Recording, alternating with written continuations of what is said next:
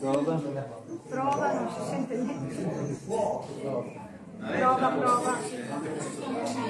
Gatto, sei capace per la, per la... Gatto?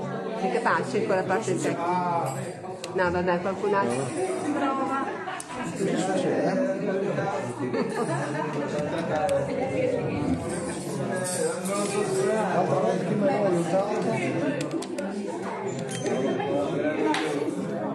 Prova? Prova. Ti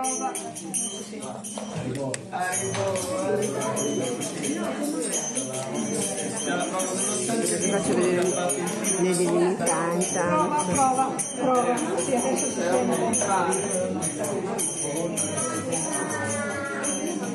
Prova, prova, prova, prova.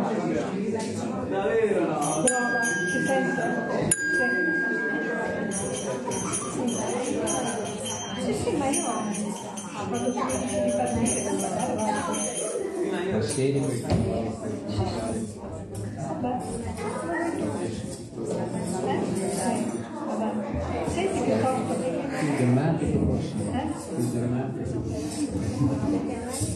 Hare Krishna, buonasera a tutti. Aspetta.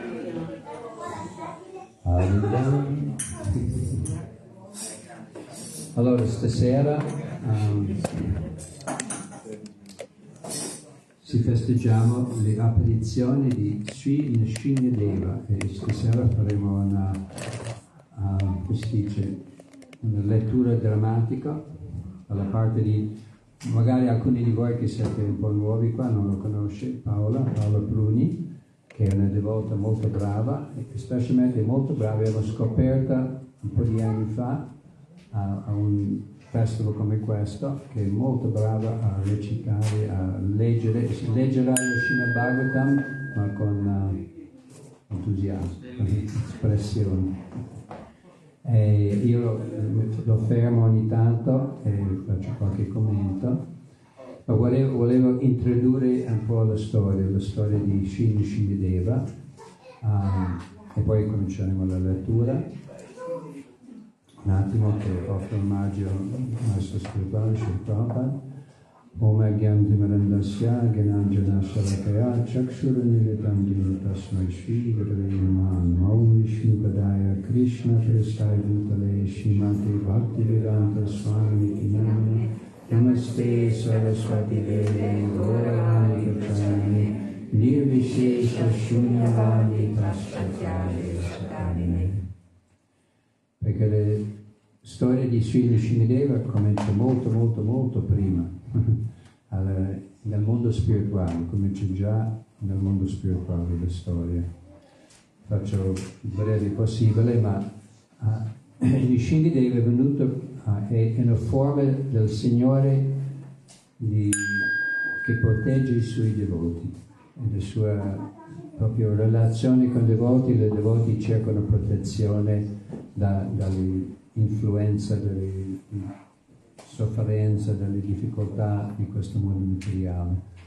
E, e- e viene um, dimostrato in- proprio in persona nella storia di Prahlad Maharaj e suo padre Hiranyakashipu.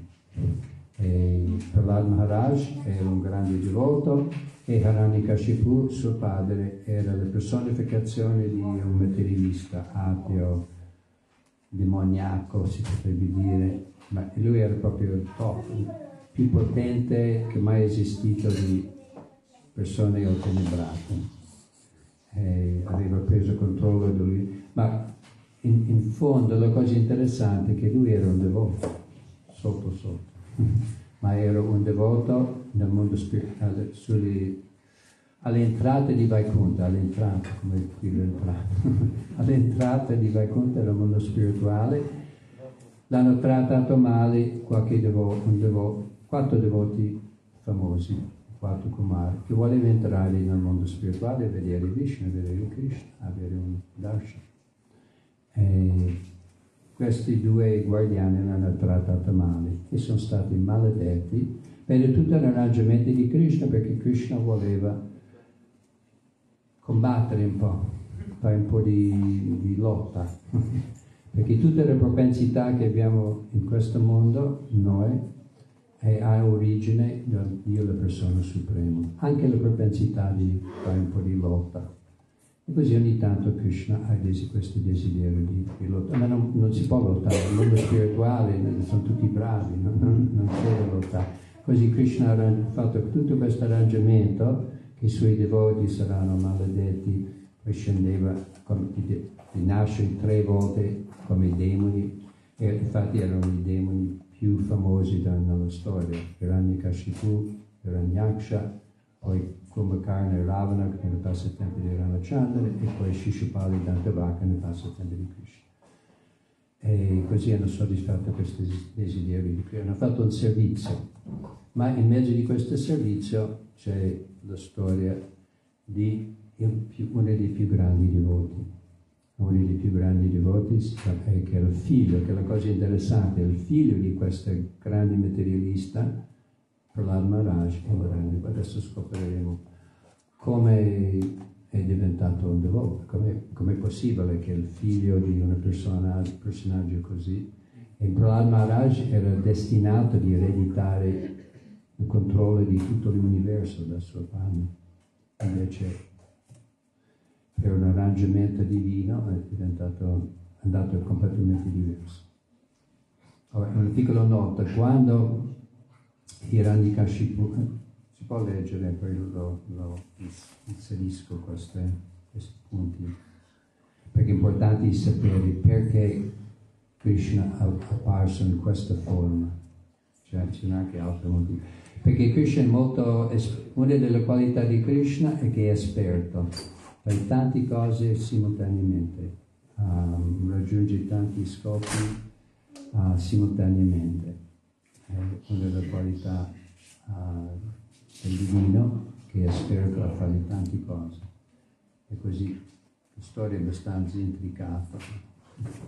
Cominciamo. Dopo qualche tempo i maestri Sanda e Amarca pensavano... Questi, questi sono i due maestri, scusate, due maestri, maestri perché la maggior parte non sanno la storia. I due maestri ufficiali di Hiranyakashipu, gli insegnanti che dovevano insegnare a Prahlad Maharaj suo figlio come essere un bravo materialista.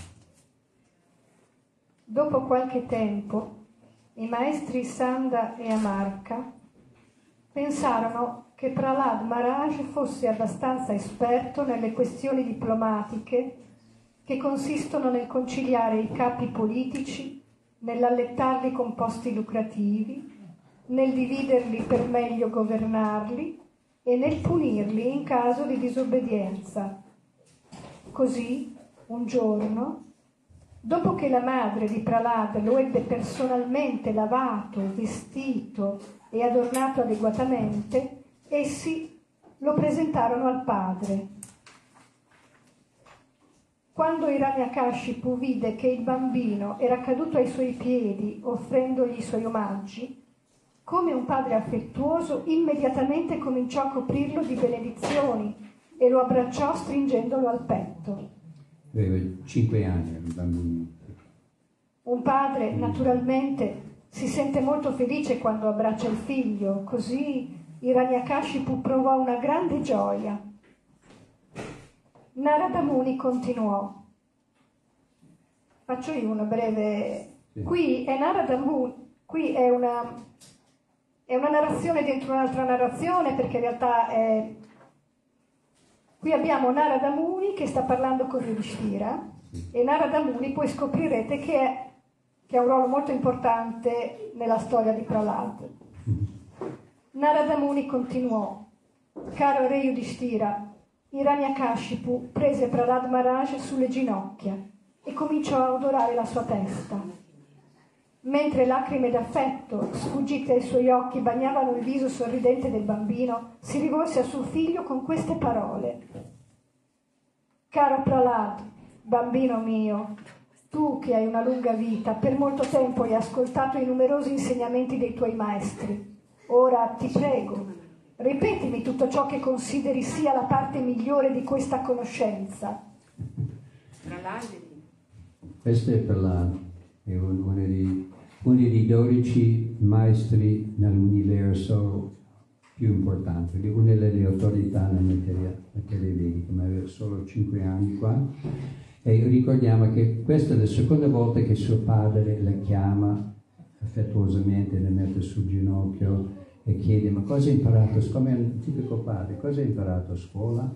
E la prima volta ha risposto contrario a quello che voleva sentire Annika Shipur, l'ha mandato indietro, gli insegnato l'hanno rilavorato sul cervello, ma in realtà non ha anche influenzato neanche minimamente, ed è tornata per il secondo giro. E questa è la risposta di Prahlad. Questo è uno dei versi più famosi dello Srimad Bhagavatam, questi prossimi due versi. Ascoltare e cantare il santo nome trascendentale, la forma, le qualità, i divertimenti di Sri Vishnu e ciò che lo circonda, ricordare ogni cosa, servire i piedi di loto del Signore, offrire al Signore una rispettosa adorazione mediante sedici differenti oggetti, offrire preghiere al Signore, diventare suo servitore, considerare il Signore come il proprio miglior amico e sottomettere ogni cosa a Lui in altri termini servirlo con il corpo, la mente e le parole. Questi nove metodi sono considerati puro servizio devozionale.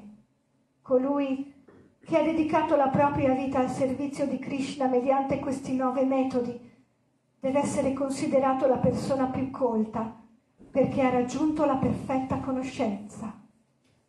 Questo non era esattamente quello che voleva sentire Ranikashipu. lui aspettava le diplomazie, anzi imparato, invece Prahlad Maharaj è, è tutto su un'altra piattaforma, adesso scopriremo perché. Dopo aver ascoltato queste parole a proposito del servizio devozionale dalla bocca di suo figlio Prahlad, Hiranyakashipu fu preso da un'intensa collera. Con le labbra tremanti parlò a Sanda, il figlio del suo guru, Sukracharya. O squalificato e indegno figlio di un brahmana, hai disobbedito ai miei ordini e ti sei schierato dalla parte dei miei nemici. Hai insegnato a questo povero bambino il servizio devozionale. Come spieghi questa assurdità? Cambiato tono subito. Nel corso del tempo differenti malattie colpiscono i peccatori. Similmente in questo mondo ci sono molti falsi amici travestiti in varie fogge, ma in seguito al loro ipocrita comportamento la loro vera ostilità si manifesta. Questo adesso vediamo uno studio nella natura proprio materialista, demoniaco, del personaggio più materialista della storia. Il figlio di Sukracharya, il maestro spirituale di Ranyakashipu, rispose, Ore, o nemico del re Indra, tutto ciò che tuo figlio ha detto non gli è stato insegnato né da me né da altri. L'attrazione spontanea per il servizio devozionale si è sviluppata in lui del tutto naturalmente. Perciò rinuncia alla tua collera e non accusarci inutilmente. Non è bene insultare così un brahmana. Shri Naradamuni continuò. Udita la risposta dell'insegnante, Hiranyakashipu si rivolse di nuovo a suo figlio Pralad con queste parole. Mascalzone, il più vile tra i membri della nostra famiglia.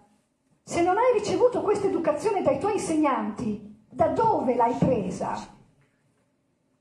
Prahlad Maharaj rispose. E ricordiamo che Hiranyakashipu aveva un fratello, perché scendevano in due, Jai e Vijay, questi due guardiani, e l'altro fratello si chiamava Hiranyaksha, che è stato in un'altra forma, è stato ucciso da un altro avatar di Krishna, Varahadev. Così Hiranyakashipu era proprio fissato di vendicare, vendicare il suo fratello. e il suo nemico che ha ucciso suo fratello era Vishnu, o Dio, Krishna. E, e, quando sente che il suo stesso figlio voleva adorare le cose migliori che ha imparato di adorare Vishnu, è andato fuori di testa. Poiché non riescono a dominare i propri sensi, le persone troppo attaccate all'esistenza materiale avanzano verso condizioni di vita infernale e continuano a masticare ciò che è già stato masticato. La loro attrazione per Krishna non si risveglia mai, né grazie alle istruzioni di altre persone, né grazie al loro stesso sforzo, né per una combinazione di entrambi. Tranquillo, ma cerchiamo di immaginare una bambina grande come Elisa Rana, 5 anni, e questo mostro. Hiranyakashipu era enorme, era un gigante uh, più potente dell'universo. Lui tranquillo sta spiegando le filosofie della vita a suo padre. e suo padre è fuori di testa, è incolorito in modo che lo fa spaventare tutti. Invece suo figlio, perché è, è completamente preso rifugio ai piedi dell'otto del Signore, tranquillo le persone fortemente invischiate nella coscienza del godimento della vita materiale, che per questa ragione hanno accettato come loro capo o guru un uomo ugualmente cieco, attaccato agli oggetti esterni dei sensi, non possono capire che il fine dell'esistenza è quello di tornare a Dio nella nostra dimora originale e di impegnarci al servizio offerto a Sri Vishnu. Come ciechi guidati da un altro cieco, perdono la strada e cadono nel fosso, così persone attaccate alla materia, guidate da altri uomini attaccati alla materia, sono saldamente legate dalle robuste corde delle attività interessate e continuano ripetutamente a vivere la loro vita materialista soffrendo a causa delle tre forme di sofferenza. Finché non cospargono il corpo con la polvere dei piedi di loto di un Vaishnava, che è completamente libero dalla contaminazione materiale, le persone che sono molto attratte dalla vita materiale non possono attaccarsi ai piedi di loto del Signore, che è glorificato per le sue eccezionali attività. Solo diventando coscienti di Krishna e rifugiandosi in questo modo ai piedi di loto del Signore, ci si può liberare dalla contaminazione della materia Dopo aver così parlato, Prahlad Maharaj rimase in silenzio e Hiranyakashipu, accecato dalla collera, lo gettò a terra. Il stesso filo preso Indignato e furioso, con gli occhi rossi come il rame fuso, Hiranyakashipu disse ai suoi servitori: Oh demoni, allontanate da me questo bambino! Merita di essere ucciso! Uccidetelo il più celermente possibile. Questo bambino, Pralad, ha ucciso mio fratello perché ha lasciato la sua famiglia e si è dedicato al servizio devozionale del nemico Sri Vishnu come un umile servitore. Sebbene Pralad abbia solo cinque anni, nonostante la così giovane età, ha abbandonato ogni relazione affettuosa col padre e con la madre Perciò è certamente indegno di fiducia. In realtà non è possibile credere che egli si comporterà bene verso Vishnu. Benché un'erba medicinale nata nella foresta non appartenga alla medesima categoria dell'uomo, se è benefica sarà custodita con grande attenzione. Similmente, se una persona estranea alla famiglia è favorevole, deve essere protetta come un figlio.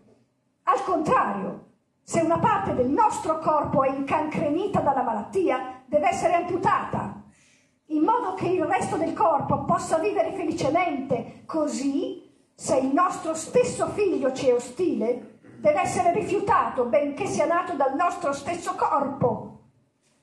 Eh, questo è l'amore del mondo materiale, cosiddetto amore del mondo.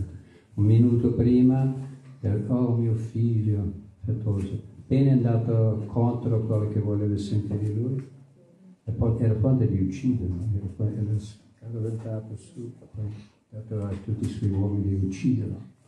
Questa è la natura del nemico, questo cosiddetto amore della famiglia, è solo egoismo. Come i sensi incontrollati sono nemici degli yogi impegnati a progredire nella vita spirituale, così questo Pralad, che sembra un amico, in realtà è un nemico per me, perché non riesco a dominarlo. Per conseguenza, tale nemico, che mangi, sieda o dorma, deve essere ucciso con ogni mezzo. Questo sarà spiegato in un'altra parte di Prahlad Maharaj amici, nemici, questo è il mondo materiale, tutti vedono uh, questo è mio amico, questo è mio nemico, non importa se è un familiare, eh, perché è tutta una relazione del mio piacere.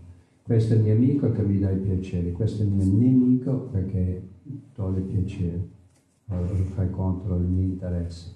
E questo è, è come gira il mondo materiale. C'è ancora due. I demoni, i servitori di Ranyakashipu, cominciarono così a colpire il tenero corpo di Prahlad Maharaj con i loro tridenti. Tutti questi demoni avevano volti spaventosi, denti aguzzi, chiome e barbe rosse come il rame e apparivano estremamente minacciosi. Con un frastuono assordante e gridando taglialo a pezzi, trafiggilo, cominciarono a colpire Prahlad Maharaj, che seduto in silenzio meditava su Dio, la persona suprema.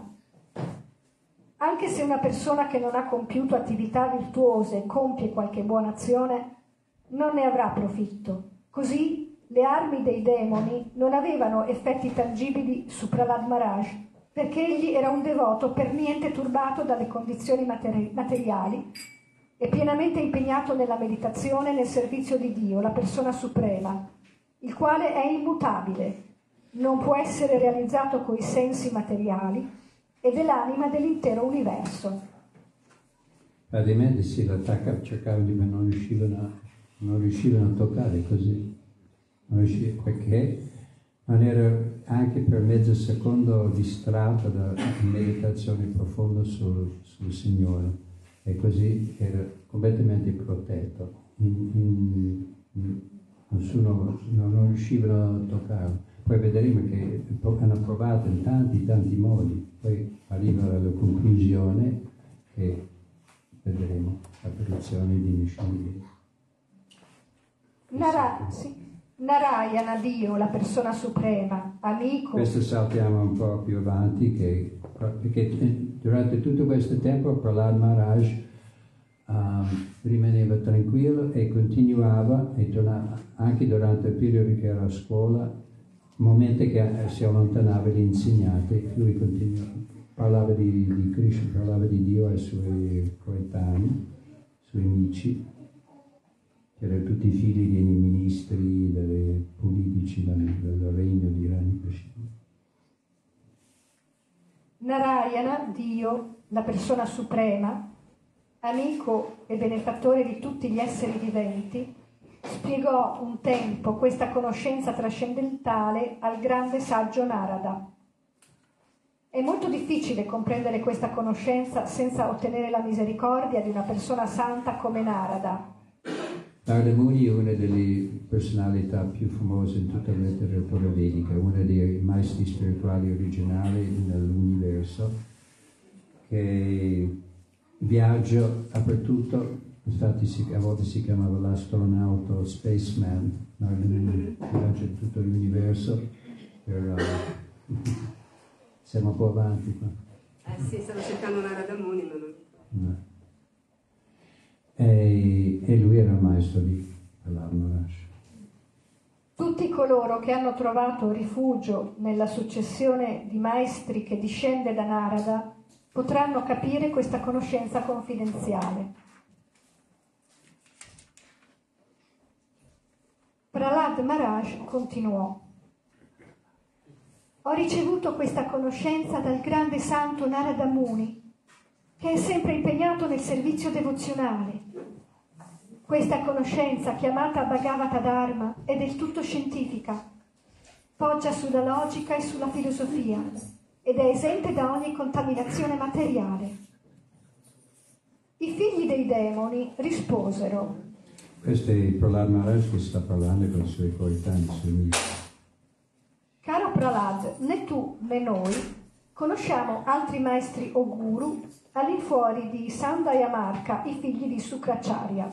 Dopotutto noi siamo bambini e loro hanno potere su di noi. Soprattutto per te che rimani sempre nel palazzo. È molto difficile ottenere la compagnia di una grande personalità Caro amico, tu che sei così gentile, vorresti spiegarci per favore come ti è stato possibile ascoltare gli insegnamenti di Narada? Ti preghiamo di dissipare i nostri dubbi a questo proposito. Non riuscivo a capire perché noi siamo chiusi dentro il palazzo da, da quando siamo nati e tu, tu, parli di questo maestro Narada Muni come ascoltato da lui, ma come hai fatto ad ascoltare lui? Noi non l'abbiamo mai visto, tu non, non mai uscita da qua. Adesso si spiegherà questo mistero. È, è molto particolare questa, questa parte della storia. Narada Muni disse, sebbene Prahlad Maharaj fosse nato in una famiglia di Asura, era il più grande di tutti i devoti. Asura era tenebrata nel materialista.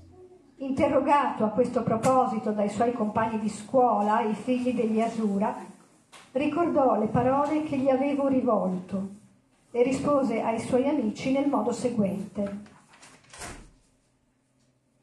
Prahlad Maharaj disse, quando nostro padre Hiranyakashipu si ritirò sulla montagna Mandarachala per compiere severe austerità, gli esseri celesti, guidati dal re Indra, approfittarono della sua assenza per scatenare una tremenda offensiva e soggiogare con una guerra tutti i demoni. Anche nei pianeti superiori c'è sempre guerra tra il bene e il male, purtroppo.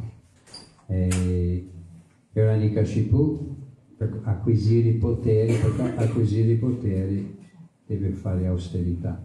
Anche se vuole diventare ricco, ma avere poteri in questo mondo, deve lavorare per fare austerità. E lui si è ritirato sulle montagne a compiere austerità, così era un po' non protetta del suo regno. Così Indra, che è il re delle esseri celesti, approfittava di questo momento di attaccare. Come un serpente è divorato dalle formiche, così questo tremendo Hiranyakashipu, continuamente impegnato a causare la sofferenza di tutti gli esseri viventi, è ora vinto dalle reazioni dei suoi peccati. Con queste parole, gli esseri celesti guidati dal re Indra si prepararono a combattere i demoni quando i grandi capi dei demoni si accorsero che sarebbero stati uccisi uno dopo l'altro, vedendo lo sforzo senza precedenti degli esseri celesti nel combattimento, cominciarono a fuggire, disperdendosi in ogni direzione. Per salvare la propria vita, fuggirono a grande velocità, allontanandosi dalle case, dalle mogli, dai figli, dagli animali, dai loro beni. Fuggirono senza preoccuparsi affatto di tutte queste cose gli esseri celesti, vittoriosi, saccheggiarono il palazzo di Eraniakashipu, il re dei demoni, e distrussero tutto ciò che conteneva. Poi Indra, il re dei pianeti celesti, arrestò mia madre, la regina. Che sta parlando. Mentre la regina, che piangeva di paura, come un uccello curari catturato da un avvoltoio, veniva trascinata via, il grande saggio Narada, che in quel tempo non aveva altri impegni, apparve sulla scena e la vide in quella condizione. Narada Muni disse, O Indra, re degli esseri celesti, questa donna è certamente senza peccato, non dovresti trascinarla via così spietatamente.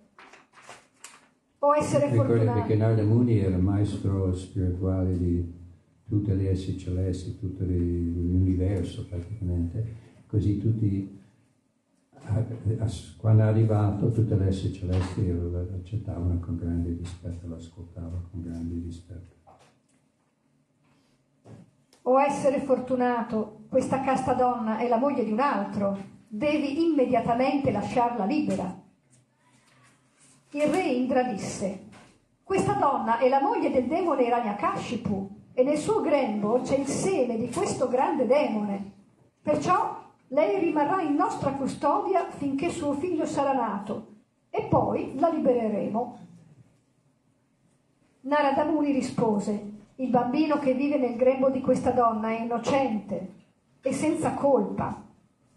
Infatti è un grande devoto, un potente servitore di Dio, la persona suprema, perciò non sarete in grado di ucciderlo. Dopo che, dopo che Narada Muni ebbe così parlato, il re Indra, pieno di rispetto per le sue parole, immediatamente liberò mia madre. Poiché io ero un devoto del Signore, tutti gli esseri celesti girarono attorno a lei in segno di rispetto e poi tornarono al loro regno celeste. Vi ricordiamo, sono scappati tutti. Eccolo Narada Muni. Lei è la mamma. Lei è la mamma di, di Prahlad Maharaj, moglie di Hiranyakashipu. Il grande santo Narada Muni condusse mia madre al suo ashram e l'assicurò che l'avrebbe protetta, dicendo, cara figlia, ti prego di rimanere nel mio ashram fino al ritorno di tuo marito. Dopo aver accettato le istruzioni di Narada, mia madre rimase sotto la sua protezione senza temere alcun pericolo, finché mio padre, il re dei Daitya, non avesse concluso le sue dure austerità. Poiché mia madre era incinta e voleva essere certa che il suo bambino fosse al sicuro, desiderava partorire dopo il ritorno del marito. Così rimase nell'ashram, dove offrì con grande devozione il suo servizio a Narada Muni. Narada Muni trasmise le sue istruzioni a me, che mi trovavo ancora nell'utero, e a mia madre, che era impegnata nel servizio. Narada è per natura molto buono con le anime cadute e data la sua posizione trascendentale ci trasmise insegnamenti che vertevano sulla religione e sulla conoscenza trascendentale. Queste istruzioni erano esenti da ogni contaminazione materiale. Immagina, praticamente lui sta spiegando che ha imparato tutto questo quando era ancora nel grembo di sua madre. Allora Maharaj era ancora nel grembo di sua madre, ma ascoltando, in, in altre parole, infatti è consigliato alle madri spiritualisti di leggere, cantare, leggere le scritture quando sono incinta e, e il bambino ascolta, il bambino sente quelle vibrazioni, entra uh, nella coscienza del, del bambino e, e, questo è quello che succede. Prahlad Maharaj ricordava tutti questi insegnamenti che, che dava ai suoi coetanei, li aveva imparato nel grembo di sua madre, semplicemente ascoltando Narada non sottovalutare la coscienza del bambino nel grembo. È, è, è, cosciente, specialmente negli ultimi due mesi, spiegate che prima è, è uno stato di tormentato praticamente, ma negli ultimi due mesi è completamente cosciente, così lo canta, ascolta uh, le vibrazioni spirituali, il bambino purificato. Infatti Prahlad Maharaj è uscito un, un grande puro devoto. Narada Muni continuò. Tutti i figli dei demoni apprezzarono le istruzioni trascendentali di Prahlad Maharaj e le accolsero con molta serietà. Rifiutarono invece le istruzioni ispirate al materialismo dei loro maestri Sanda e. Adesso siamo... Al, all'otto. Ottavo capitolo. Mm, verso 2. Okay. E qui adesso facciamo un salto, abbiamo capito la situazione di Prahlad Maharaj, come ha imparato la filosofia di Bhakti E, e adesso arriviamo alla apparizione di Shinashindeva. Perché ricordiamo che Nishindeva appare perché, uh, un piccolo uh, aggiunto, quando Hiranyakashipu era fuori in montagna a fare compiere austerità, praticamente si è messo sui punti dei piedi con i braccia alzati uh, per anni, anni, anni, tanti, tanti anni, così tanti anni che praticamente si è coperta di una montagna di formiche che hanno mangiato tutte le, tutte le sue carne, eh, ma lui, lui, aveva il potere mistico di, come anima di vivere nelle, nelle ossa, nello scheletro. Ma qui, sviluppando così tanto potere, è riuscita ad avere uh, benedizione offerta da Brahma, che è la prima persona nell'universo, non Dio, ma la prima persona nell'universo. E, e lui ha chiesto, voglio diventare immortale, così controllo l'universo per sempre, per eternità. Brahma ha risposto, ma neanche io sono immortale in questa vita. Ah, allora, ok, vuole una benedizione che non posso, nessuno può uccidermi né di giorno né di notte, né dentro casa né, né fuori casa né nell'aria, né sulla terra né, nell'acqua. Ha fatto tutta la lista, pensava, pensava, perché lui pensava di essere molto furbo, molto intelligente e pensava di aver coperto tutto. Così sono, ho, ho, fatto un trucco, adesso sono, sono diventati immortali perché nessuno può uccidermi. Ma Krishna, Dio, è più furbo di noi, più furbo di tutti. E così lui è apparso in una forma, vedremo, in una forma che non è, lui ha detto, non posso essere ucciso da un uomo o da un animale, allora lui è apparso, non era né un animale né un uomo. Eh, non era né di giorno quando uccide, non era di giorno, non era di notte, che era il crepuscolo, per quello facciamo di giorno fino al crepuscolo, che fa poco.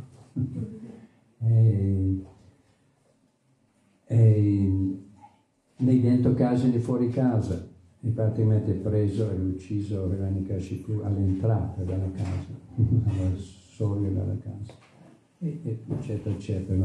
È fatto in modo che ha mantenuto le benedizioni di Brahma e allo stesso tempo uh, è protetto il suo devoto. E adesso vediamo la conclusione che è molto drammatica.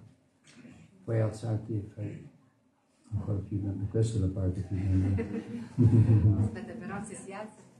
Se si alza poi non vedono. Non si bloccano, ok. No, è la telecamera. Vabbè, No, dopo. la telecamera, ok. Quando Sanda e Amarca, i figli di Sukracharya, videro che tutti gli studenti, i figli dei demoni, a causa della compagnia di Prahlad Maharaj, stavano progredendo nella coscienza di Krishna, ebbero molta paura. Avvicinarono il re dei demoni e gli descrissero la situazione. Quando Hiranyakashipu si rese conto della situazione, fu preso da una terribile collera, tanto che il suo corpo si mise a tremare, ed egli giunse alla decisione definitiva di uccidere suo figlio Prahlad.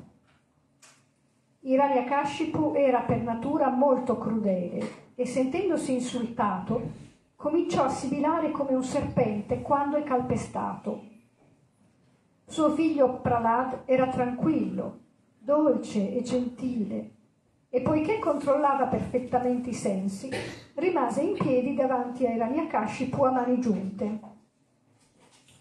Era sempre rispettoso verso suo padre, era sempre un bravo, bravo figlio, nonostante come veniva trattato, rimaneva sempre rispettoso. Poi vedremo quando alla, alla dipartita di Hiranyakashipu, i sentimenti di suo figlio.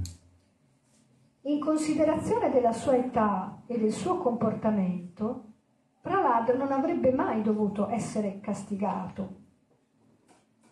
Ma Hiranyakashipu, fissandolo con occhi malvagi, lo rimproverò con queste parole dure. Metto qua.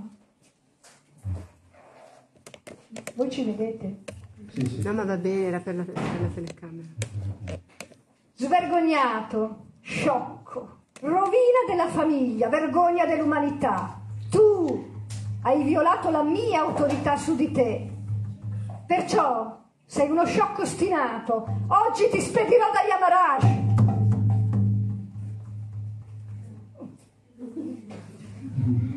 Pralad, figlio disgraziato, sai che quando io sono in collera, tutti i pianeti dei tre mondi tremano insieme ai loro capi? Tu sembri privo di paura e deciso a sopraffare la mia capacità di controllarti.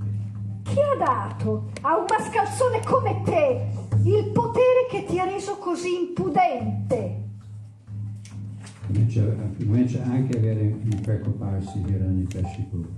Ma ricordiamo che hanno mandato, provato in tutti i modi di uccidere, non riusciva. Lui, lui potrebbe uccidere la persona più forte dell'universo senza niente. Invece questo bambino non riusciva a toccarlo. È cominciato a preoccupare, a arrabbiarsi, voleva ucciderlo, ma allo stesso tempo aveva paura. Caro re, la sorgente della mia forza che tu vuoi conoscere è anche la sorgente della tua forza.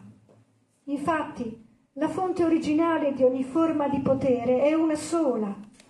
Non è soltanto la tua forza o la mia, ma è l'unica forza per ognuno.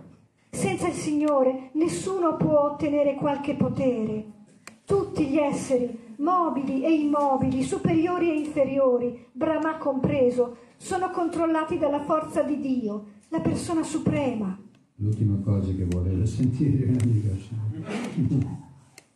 Dio, la persona suprema, che è il supremo controllore ed è il fattore tempo, è anche il potere dei sensi, il potere della mente, il potere del corpo e la forza vitale dei sensi.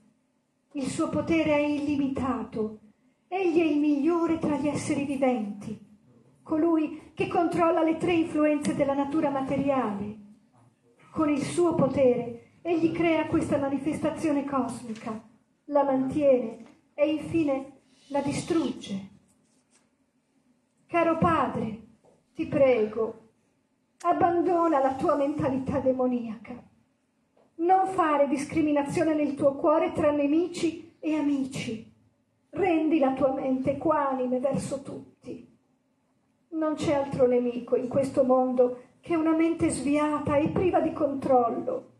Quando consideriamo tutti gli esseri su un piano di uguaglianza, allora ci troviamo in una posizione che ci permette di adorare perfettamente il Signore. Un tempo erano molti gli sciocchi come te, incapaci di vincere i sei nemici che saccheggiano le ricchezze del corpo. Questi sciocchi erano molto orgogliosi e pensavano ho vinto tutti i nemici in tutte le dieci direzioni. Ma se una persona vince i sei nemici ed è equanime verso tutti gli esseri viventi, non avrà più nemici. L'idea di avere nemici deriva soltanto dalla nostra immaginazione provocata dall'ignoranza. Hiranyakashipu rispose, disgraziato, stai tentando di minimizzare il mio valore come se tu fossi più capace di me nel controllare i sensi. Questa tua intelligenza è eccessiva. Posso quindi arguire che desideri morire per mia mano. Infatti, questo genere di assurdità è il discorso preferito di coloro che stanno per morire. O oh, infelice Pralat, tu hai sempre descritto un essere supremo che non sono io un essere supremo che trascende ogni cosa, che controlla ogni essere ed è onnipervadente. Ma dov'è? Se si trova in ogni luogo, allora perché non si trova qui, davanti a me, in questa colonna? Poiché stai dicendo tante sciocchezze, ora ti staccherò la testa dal corpo. Vediamo se il tuo Dio, così degno di adorazione, viene a proteggerti. Voglio proprio vedere. Questa è proprio la mentalità delle scienziati atei, vuol dire, vogliono mostrare che Dio non esiste, che siamo noi Dio, siamo noi, siamo noi capaci di controllare, adesso inventiamo l'intelligenza artificiale, tutte queste cose, così noi siamo Dio, noi siamo controlli.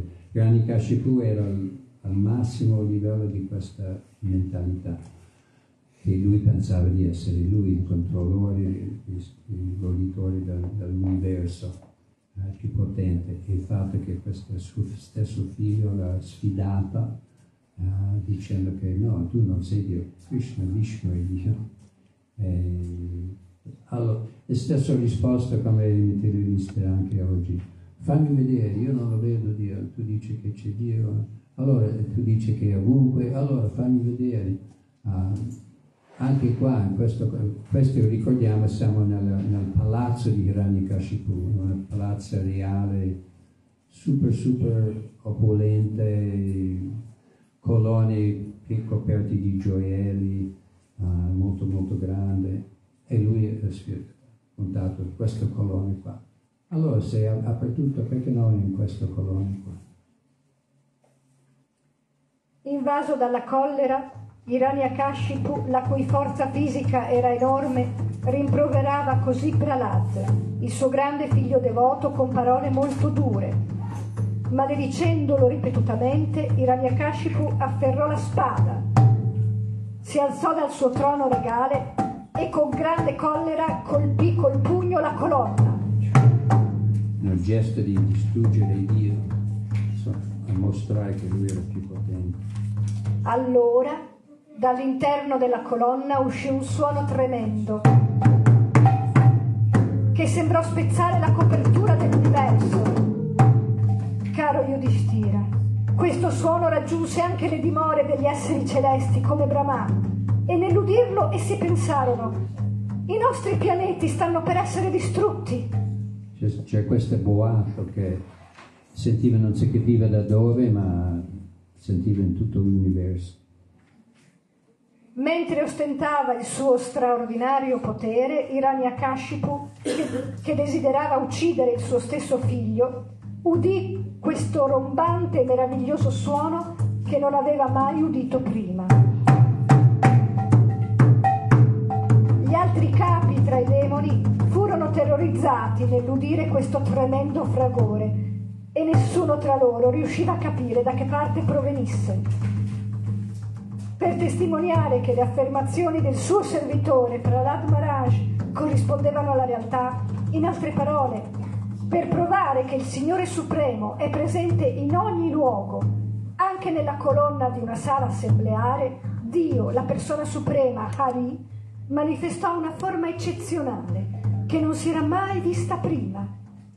Questa forma non era né di uomo né di leone, Così il Signore apparve in questa forma sorprendente nella sala del trono. Mentre Ramyakashipu si guardava intorno per trovare l'origine del suono, la meravigliosa forma del Signore che non poteva essere definita né di uomo né di leone emerse dalla colonna. Sbigottito, Hiranyakashipu si chiedeva chi fosse quella creatura metà uomo e metà leone. Hiranyakashipu studiò la forma del Signore, cercando di stabilire chi fosse, in realtà, la forma di Nishimadeva che gli stava dinanzi. La forma del Signore era veramente terribile. I suoi occhi rati assomigliavano all'oro fuso, la sua criniera splendente espandeva le dimensioni del suo volto, che incuteva paura, e le sue terribili zanne e la sua lingua affilata come un rasoio si muovevano come una spada in un duello. I suoi orecchi erano ritti e immobili, le sue narici e le sue fauci spalancate erano simili alle caverne di una montagna. Le sue mascelle erano paurosamente aperte e l'intero suo corpo toccava il cielo. Il suo collo era corto e grosso, il petto largo, la vita sottile. I peli del corpo erano bianchi come i raggi della luna. Le sue braccia assomigliavano a falangi di soldati espansi in ogni direzione mentre uccideva i demoni, i briganti e gli atei con la sua conchiglia, il disco, la mazza, il fiore di loto e altre armi naturali. Hiranyakashipu mormorò tra sé. Shri Vishnu, che possiede grandi poteri mistici, ha escogitato questo piano per uccidermi, ma quale sarà l'utilità di questo tentativo? Chi può combattere contro di me? Così pensando, Hiranyakashipu afferrò la mazza e attaccò il Signore come un elefante. Anche davanti le forme di Dio stesso, lui ancora vuole sfidare. No, io ti ammazzo. Questo è l'estrema di un materialista. Vuole uccidere Dio personalmente, pensava di essere capace come un piccolo insetto precipita in un fuoco e questa insignificante creatura diventa invisibile, così Hiranyakashipu diventò invisibile non appena ebbe attaccato il Signore che era così splendente. Questa non è una cosa stupefacente perché il Signore è sempre situato nella pura virtù. Un tempo durante la creazione entrò nell'oscuro universo e lo illuminò con la sua radiosità spirituale. Poi il grande demone Hiranyakashipu, preso da una tremenda collera, attaccò agilmente Nishimadeva con la sua mazza e cominciò a colpirlo. Ma Sri Nishimadeva catturò il grande demone e la sua mazza, proprio come Garuda cattura un grosso serpente. O Yudhishthira, o grande figlio di Bharata, quando Nishimadeva diede a Hiranyakashipu l'opportunità di sfuggirgli di mano, proprio come talvolta Garuda gioca con un serpente e se lo lascia sfuggire dal becco, gli esseri celesti che avevano perso le loro dimore e si nascondevano tra le nuvole per paura del demone, non si divertirono molto a questo spettacolo ed erano molto turbati. Liberandosi dalle mani di Nishimadeva, Hiranyakashipu pensò scioccamente che il Signore avesse paura della sua forza. Perciò, dopo essersi concesso un po' di respiro, riprese la spada e lo scudo e attaccò di nuovo il Signore con grande forza. Facendo risuonare la sua penetrante risata, Dio, la persona suprema, Narayana, che è estremamente forte e potente, catturò Hiranyakashipu che si proteggeva con la spada e lo scudo senza lasciare una breccia. Con la velocità di un falco Hiranyakashipu si spostava dal cielo alla terra, tenendo gli occhi chiusi per paura della risata di Nishimadeva.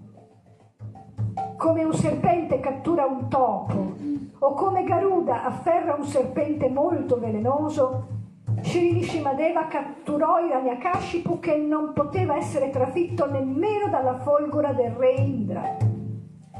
Poiché Hiranyakashipu si divincolava in ogni direzione ed era molto afflitto di essere stato fatto prigioniero, Shri Nishimadeva lo distese sulle sue ginocchia e sulla soglia della sala del trono senza alcuna difficoltà.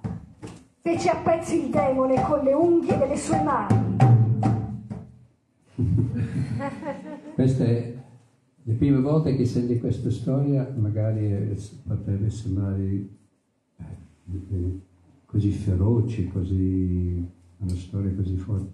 Ma ricordiamo che prima Hiranyakashipu uh, è liberato, era un passatempo, era un gioco um, uh, per il piacere del Signore, per combattere e anche per dimostrare come uh, se un devoto prende rifugio nel Signore, Lui è sempre lì a proteggerlo. E tutti i devoti hanno uh, questa esperienza che prende, quando sono in difficoltà, in paura, uh, prende rifugio in Shinideva. È proprio la personificazione, l'aspetto del Signore proprio per proteggere i suoi devoti. Mi ricordo una volta um, a New York, c'era un gruppo di, c'era un paio di devoti che erano, hanno distribuito riviste e raccolte delle offerte nel metropolitano e sono arrivati, erano fin, è finita la giornata per entrare e aspettavano il metropolitano. Uh, e sono arrivati di, si dice non so, i ladri. E, e loro pensavano ha dimenticato di Krishna, dimenticato di prendere rifugio in Krishna, pensava noi siamo forti, mettiamo invece in, in fatto quello cosa è successo, questi ladri l'hanno riempita di botte, hanno preso tutti i soldi, riviste, tutto. Poi c'era un altro devoto, o due devoti, nella stessa situazione, ma erano magrolini e, e, hanno subito cominciato a cantare Nishingedeva, Nishingedeva e cosa è successo? Appena cominciato a cantare Nishingedeva questi, questi briganti, non c'erano criminali, criminali, tempisti, sì. teppisti, teppisti, teppisti. E, arrivato il metropolitano, sono aperte le porte, i due devoti sono saltati dentro, sono chiuse le porte e non è successo niente. Erano protetti. Anche, anche avuto esperienza. Tutti i devoti che hanno provato funzionano. Krishna è lì, in particolare in questa forma di Nishimi è lì per proteggere i suoi devoti. E vediamo. Poi per concludere la storia che poi dopo adesso cantiamo, ancora un po' prima di prendere il passaggio. Um, la conclusione, perché praticamente Nishingadeva espande con tanti tanti cento, decine e decine di braccia, tut, perché tutti gli associati di, di Hiranyakashipu dopo la sua uccisione cerca di attaccare, attaccare uh, Nishingadeva per ucciderlo e lui è praticamente spazzato via. È una, è una, una scena abbastanza scioccante, diciamo. E infatti tutti gli esseri celesti che erano lì presenti erano tutti scioccati e volevano, e Nishindeva era così arrabbiato che hanno cercato di uccidere il suo devoto um, che nessuno riusciva a calmarlo. È andato avanti Brahma, Shiva, Indra, tutte le SCR sono andate a offrire le loro preghiere uh, per cercare di far, farlo calma, calmare, non riuscì, perché avevano sempre qualche interesse. Volevano che si calmasse così loro potevano stare bene. E alla fine gli esseri celesti, senti, tu parlare, tu sei il devoto più elevato qua, vai tu, vai tu e, hanno scritto davanti. E il Prahlad Maharaj non aveva nessuna paura perché lui vedeva Nishingadeva come il suo più caro Signore. Immagina, era gigantesco, un mezzo uomo e mezzo leone, la testa del leone che uh, ruggiva, uh, che faceva tremare l'universo. Invece per l'Almanach, perché non aveva nessun interesse personale, voleva solo glorificare, pensare, meditare sul suo Signore, è andata davanti e offerta delle bellissime preghiere, se volete leggere lo Shinabhagavad, sono i suoi preghiere, sono veramente belli. E, e così Nishingadeva, c'è l'altra forma di Nishingadeva, c'è la forma di Nishingadeva feroce e c'è la forma di Nishingadeva sereno, dolce, che mette mano sul ginocchio. E, ah, sono, hanno fatto tanti teatri, anche qui a Bologna, tanti anni fa. tanti tanti anni fa hanno fatto un teatro fantastico. Qui abbiamo un paradiso. Questo proprio hanno fatto anche a, a tutti i devoti di Bologna che hanno fatto questo teatro. Che era fantastico, era veramente bello. Eh? Infatti volevo chiedere, chi ha questa natura teatrale? Una cosa che manca al centro del Contone è un gruppo teatrale, sì. Perché sono tanti, proprio piaceva tantissimo, incoraggiava i devoti di fare teatro, e, in modo di, di proprio coinvolgersi nel passatempo, nelle attività di Krishna. E così è concluso, um, Nishimidevi era tranquillo pacificato, Prahlad Maharaj è stato salvato e Prahlad Maharaj il suo ultimo parole era perché Shridev tu hai sofferto così tanto uh, uh, essendo mio devoto voglio darti una benedizione vuole darti benedizione. Come risposta per l'Admaraj diceva, ma io non sono mercante, non, non, non, ti sta adorando perché voglio qualcosa in cambio. Io, tu sei il mio signore, caro Signore, voglio solo servirti. Um, ma, ma l'unica cosa, no, la prima cosa che ha chiesto a mio padre, a mio padre, uh, uno può immaginare che mio padre ha cercato di uccidermi in tutti i modi, non è che invece per l'Ad Maharaj uh, pensavo subito, mi hai salvato mio padre? Sì, sì, mi ha detto non preoccupare, è salvato, è dimarato. Okay. Voleva il bene a suo padre, nonostante come ha trattato. E le, le altre cose che diceva Prahlad Maharaj, eh, io non ho, non ho, bisogno di niente, io sono completamente felice cantando il tuo nome, meditando su di te. Ma quello che mi, mi, mi fa soffrire è di vedere queste povere anime qui nel mondo materiale che soffrono. E, e lui, io, io, non voglio, io non voglio tornare nel mondo spirituale finché non liberiamo tu, tutte queste gente qua. Questo era il sentimento di Prahlad Maharaj. E questo sentimento di Vaishnava. Nonostante tutte queste... Noi basta che qualcuno ti, ti spinge, qualcuno parla male di te, vogliamo vendicarci, vogliamo fare del male a loro.